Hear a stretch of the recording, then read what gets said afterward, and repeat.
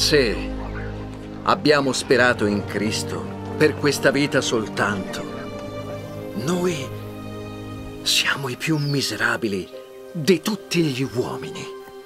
Ma ora Cristo è risuscitato dai morti, primizia di tutti quelli che dormono.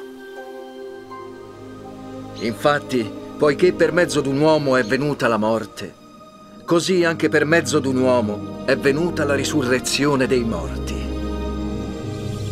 Poiché, come tutti muoiono in Adamo, così anche in Cristo saranno tutti vivificati. Ma ciascuno nel suo proprio ordine. Cristo, la primizia.